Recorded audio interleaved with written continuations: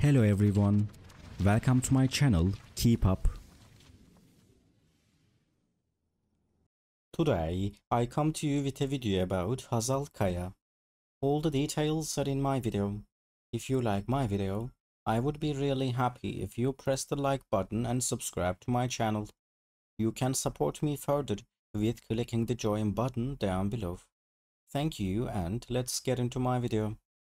In an exclusive interview with magazines, acclaimed Turkish actress Hazal Kaya, known for her stellar performances in numerous television series and films, revealed candid insights into her personal life, particularly about her beloved children. Amidst the glitz and glamour of the entertainment industry, Kaya has always kept her family life private. However, in this intimate conversation, she opened up about her son Fikret Ali and the upcoming milestone of him starting school.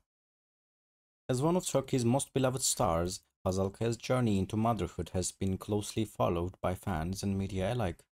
However, the actress has maintained a remarkable balance between her professional commitments and her role as a mother. Now, with her eldest son, Fikret Ali, reaching a significant milestone, Kaya shared her thoughts and emotions about this new chapter in their lives. I'm incredibly proud of Fikret Ali, Kaya expressed with a warm smile.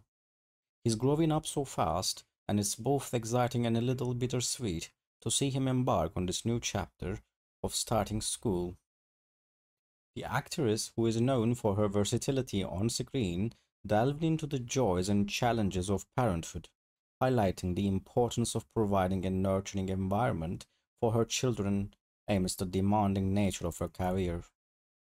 Being a mother has been the most fulfilling role of my life, she said. It is a constant learning experience, and every day brings new joys and challenges.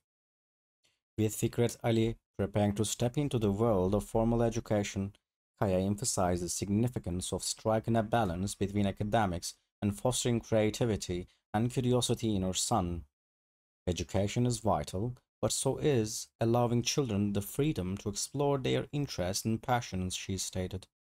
I want Fikret Ali to embrace learning wholeheartedly while also enjoying the wonders of childhood. Thank you so much for watching my video. See you in the next video. Take care and goodbye.